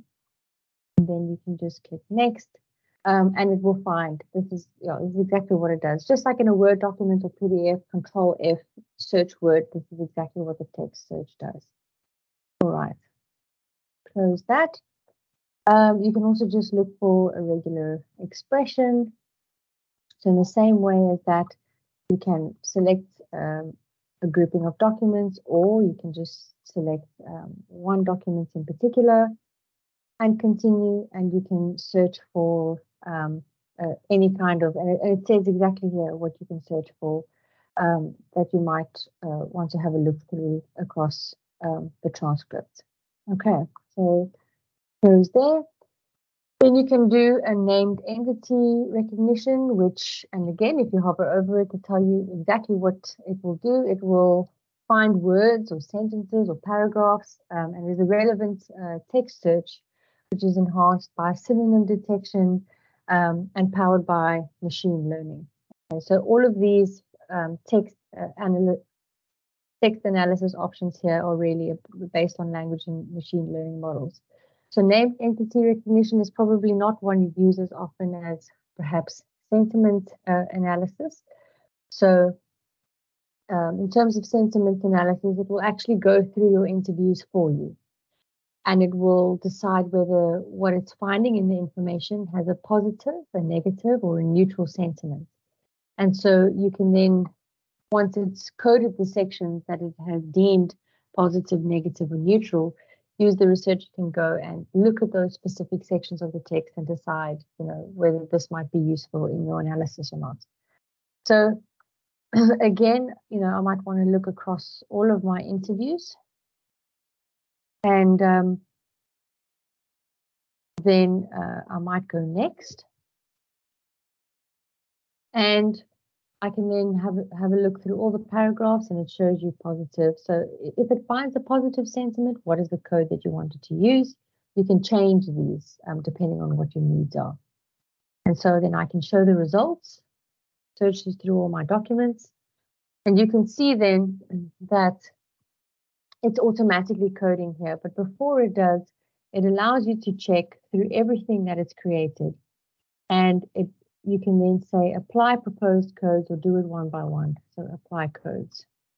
So you can then um, say either you apply your own codes, code A or code, B, or apply this proposed code, which is the, the actual sentiment analysis.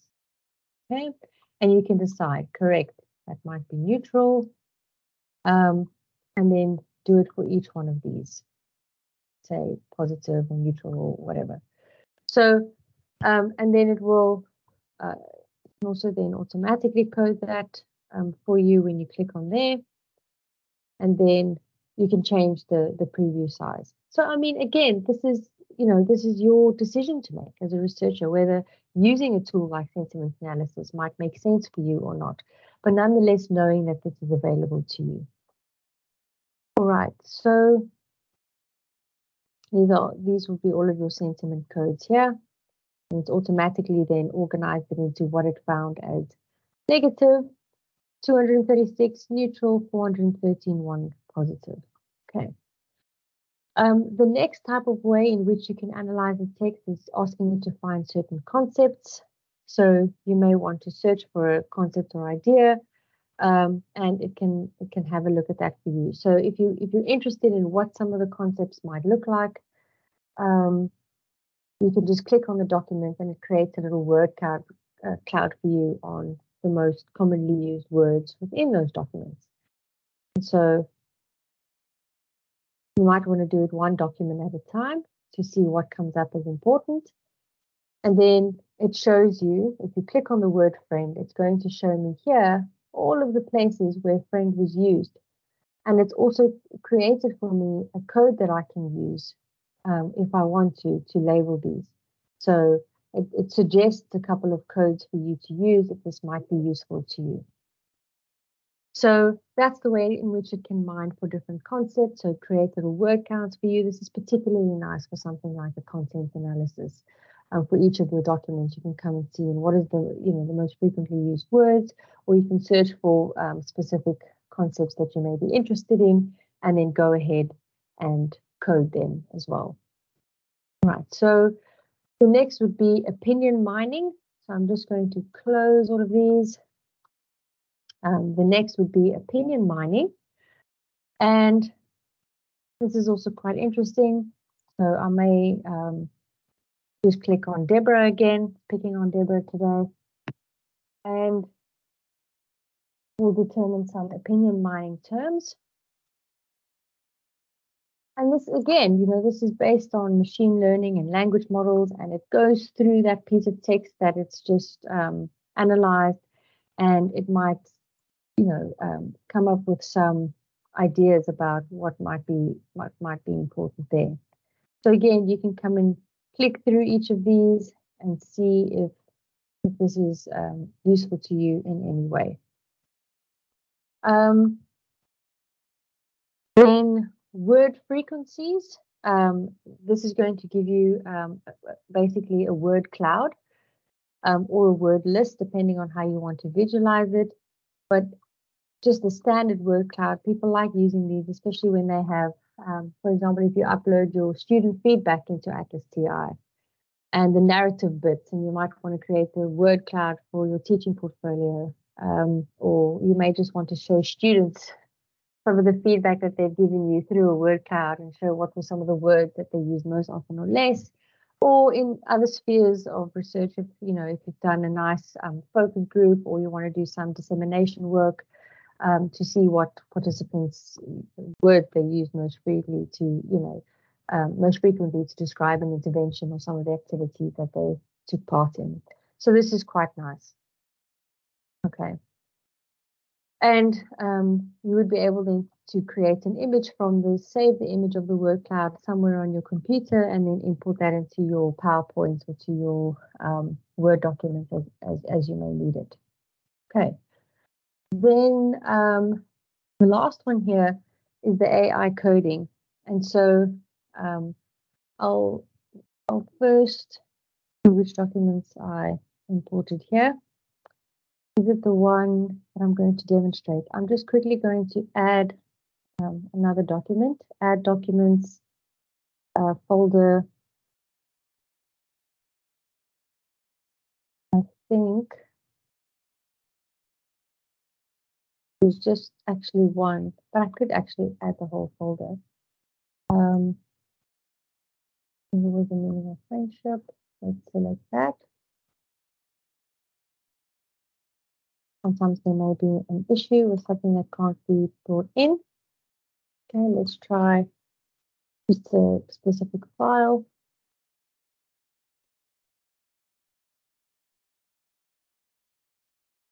Um,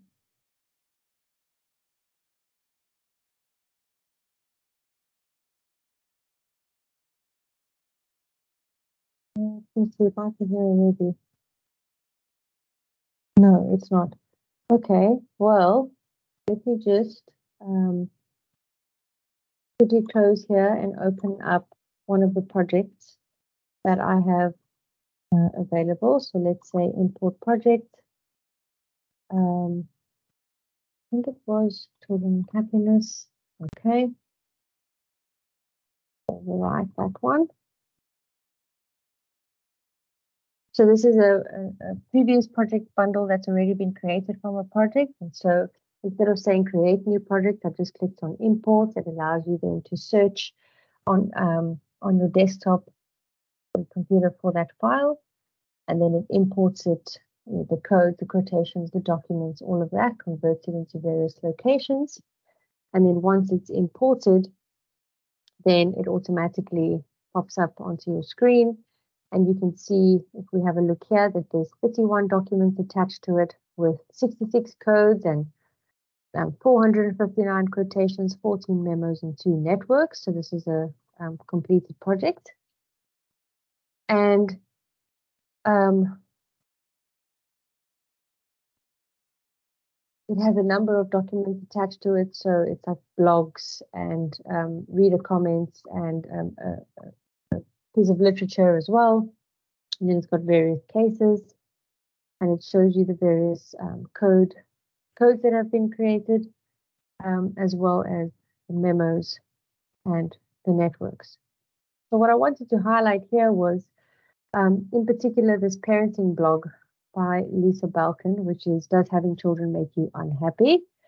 Um, then this researcher has has coded her documents or has coded this piece in a certain way, looking at negative effects, level of attitude, looking at um, some pros related to it, so cultural embeddedness, um, looking at some perceptions of having children, some ambivalence, whether it's rewarding. So various codes that have that have been added here. So if I um, create a new project, and I'm just going to call this the AI coding example and to create, then I might want to just add the file. Um, of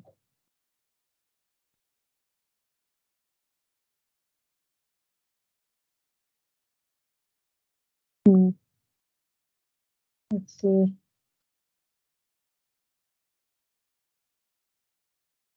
Of the of the parenting blog. So this is now an uncoded thing. Okay. So If I open that up, the same blog, Lisa Belkin's blog, all about that. So now the last um, one that we haven't really explored yet is then this open AI coding. So this is the this is the latest feature that Atlas TI has. And um, it allows you then to automatically code this document. So if I click on this, I've just got to make it larger so that I can see uh, my screen off at the bottom. Let me try and move it here.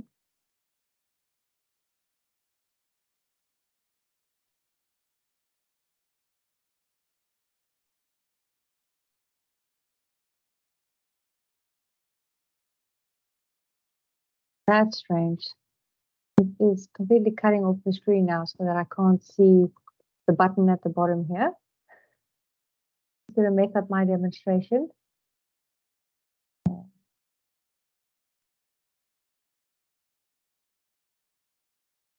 There's no, there's nowhere else one can click. I was doing it this afternoon as well and yesterday, so this will be this will be another um, comment from me to the, the uh, developer team. First, that it actually cuts off the tools when. So it's a brand new feature, so they're probably still getting a lot of feedback on it. But um, let me see if I try and open it again.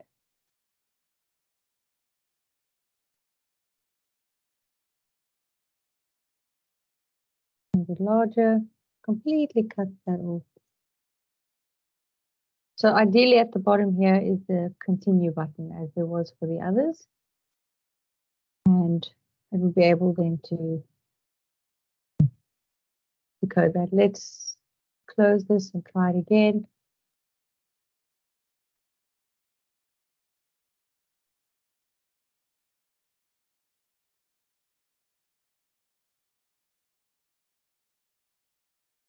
Yeah, that's a good point.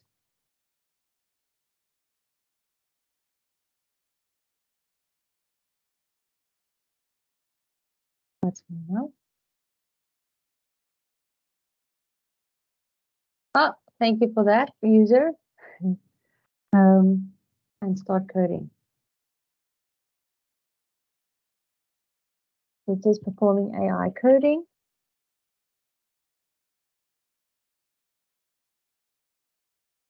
And if you have a number of transcripts, it's going to tell you that this is going to take four or five hours. So this is doing two minutes because it's a very, very short blog.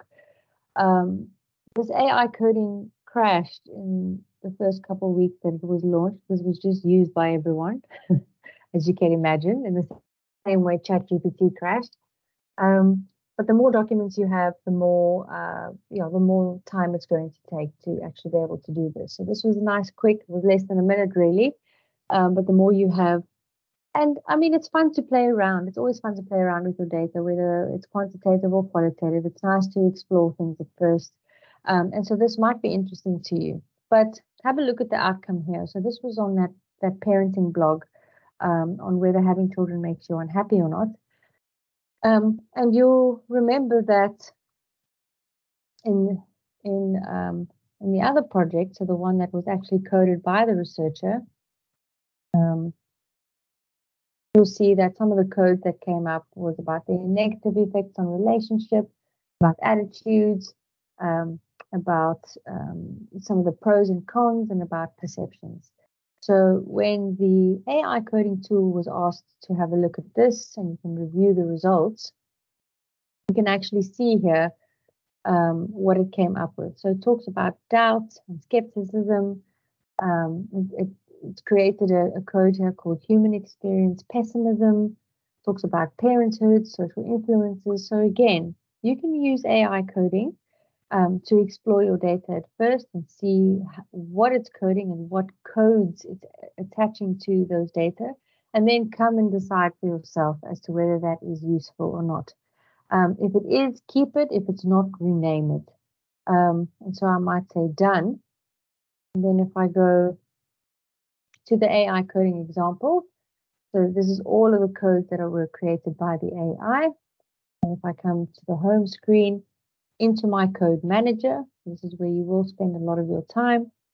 You'll see it's automatically created a code grouping called the AI codes, and it will show you um, what it found around doubt and what it found around human experience.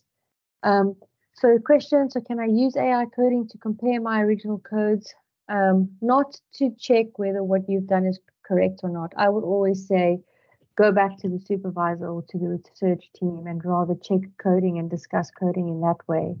Um, you can use the AI coding, I think as something exploratory, but the, the AI is not coding the data with a knowledge and experience about the topic and um, the, the, the, quest to answer the research question that you have.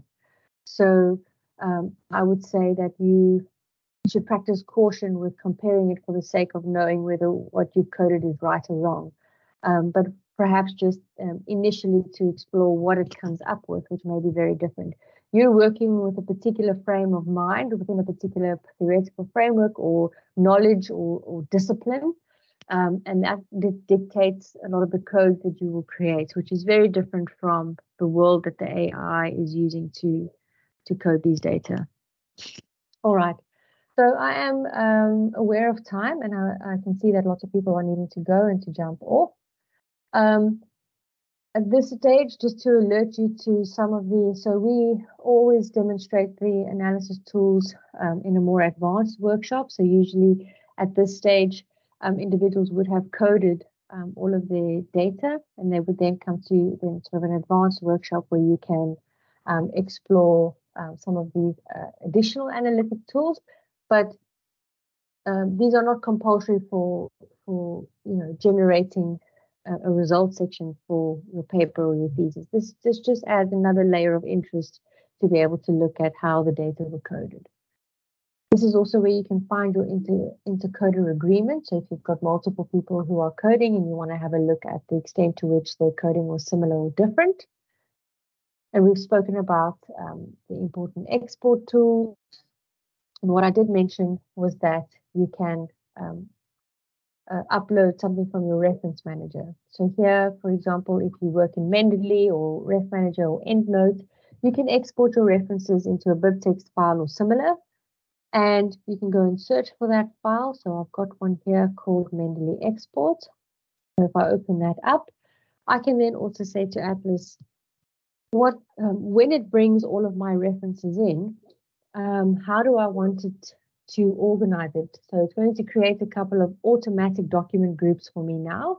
So I can say, please use the year uh, in particular, and perhaps whether it was an article, book, whatever. I would not click on all of these because it's going to give you a whole long list um, of groupings created based on these metadata, and that can actually uh, be a little bit noisy.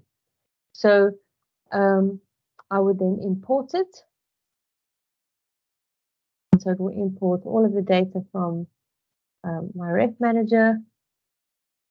Um, it will give you a whole long list of either whether if there's been a number of duplications of articles, which we want to sort out, um, and if it's uh, you know what it might be um, leaving out.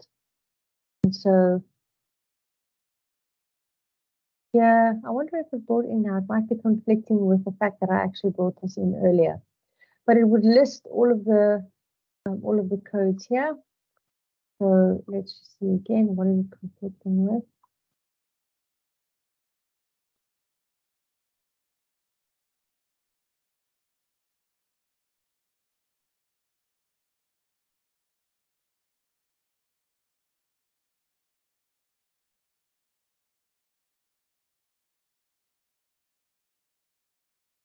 Okay, that's better. So all of the conflicts that it lists for you, you can just um, go through them one by one. You can see that there are a number of duplications here in this output created. So that's you can eliminate uh, duplicates from Mendeley itself before you actually create this export. And then what's interesting here is the document groups that it's created from the various papers. And what's nice, it can tell you which were books, which were articles, which were generic, um, these, uh, um, this I didn't ask for specifically, but it seems to have created. So I would probably delete all of this because it's quite a bit of noise. And then um, I quite like for when students do their literature review using Atlas, where it's got the automatic groupings of the years in which the publications were released um, as when you code in those documents now, and you can use your, your um, global filter function that when you create an output it will show you what the what um, what you were able to code um, per year. So it can show you chronologically, um, especially if you want to write your literature review in a chronological way. It's quite helpful. Okay, so I don't know if there are any last questions or comments, um, but I can um, otherwise I can stop here and um, as you will have seen with the time allowed, we, you know, uh, one would need a lot more time just to be able to um, actually explore various features, but I've covered most of the important things um, that would need to get you going with Atlas TI in the first place. So um, if ever you need support or help, just reach out to me, um, bronwyn at sun.ac.za, um, and happy to support you on your coding journey. Thank you. Thank you, Bronwyn. That was very thoughtful and very um, good information as how you can even do your literature review through that. Colleagues, thank you for attending this uh, webinar with us. Um, if you have any questions, contact Bronwyn and uh, the IT Hub if you need to use Atlas TI. Um, just a reminder, we will continue Library Research Week tomorrow. So join us again for exciting uh, webinars and information coming. Thank you, Bronwyn. Thank you so much. Thank you, colleagues. Bye, everyone.